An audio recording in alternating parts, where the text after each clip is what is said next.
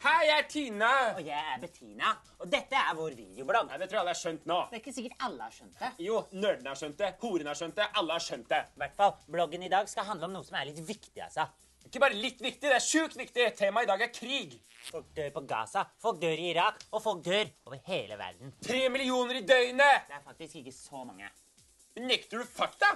Det er bare at vi i Norge ikke skjønner hvor nedverdigende er å dø i krig, fordi vi aldri har opplevd det selv. Hva? Har du ikke sett Max Manus?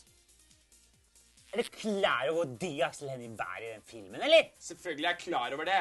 Storesøstera mi ble fingra da han var hiphoper, altså. Fy fader, så nedverdigende.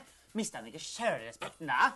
Du mister ikke sjølrespekten av å bli fingra av en hiphoper. Da er du bare kul. Uansett så skal vi ha en fest på lørdag hvor inntektene går til folk som dør på Gaza. Og Irak. Og i Auschwitz og andre steder hvor folk dør hver eneste dag. Og det koster 100 kroner å komme. Alle kommer dit. Til og med Siri Helgaker, den største hora på LS Mestad.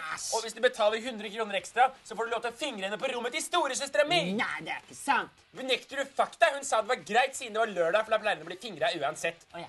Og siden det gikk til en god sak, så er hun jo ikke hore. Nei. Da ses vi på lørdag. Ha det!